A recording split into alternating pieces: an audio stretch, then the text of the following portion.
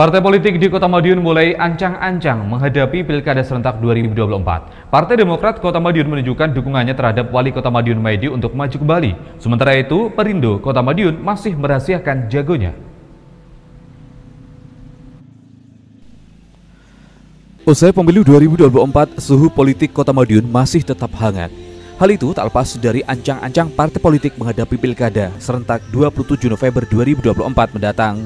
Arah dukungan parpol pun mulai mencuat. Seperti Partai Demokrat Kota Madiun yang kembali memberikan dukungan kepada Wali Kota Madiun Maidi untuk maju dalam pilkada serentak 2024. Ketua DPC Partai Demokrat Kota Madiun, Istono menilai selama memimpin Kota Madiun, Maidi telah menunjukkan perubahan tata kota lebih baik. Meski begitu, Partai Demokrat bakal berkomunikasi dengan parpol lain untuk mengusung Maidi. Kami berkeinginan untuk mengusung kembali Pak Maidi.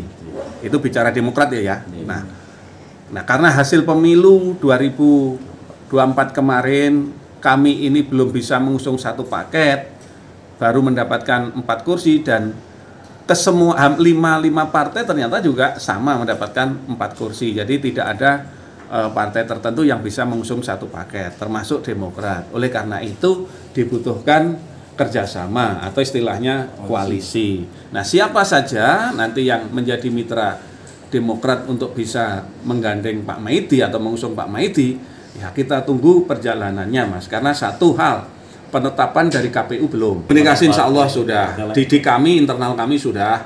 Masalah partai yang lain, ya sekedar sehelo, colek-colek, saya pikir adalah di antara teman-teman ini.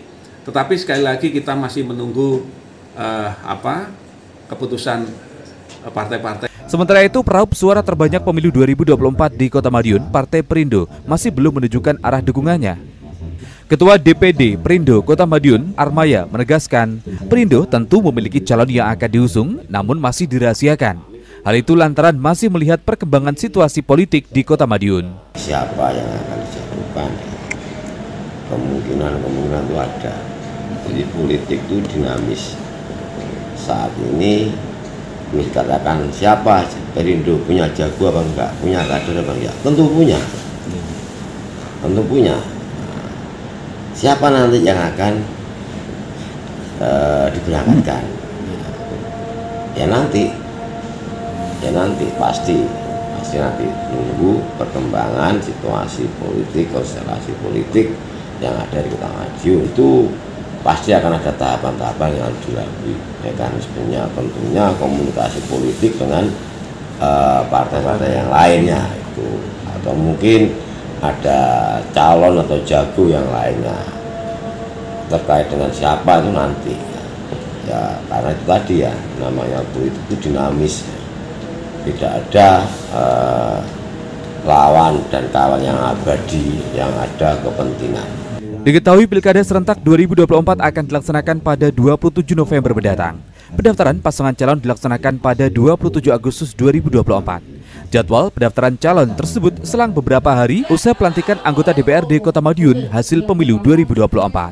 Kriswanto, CTV, Madiun.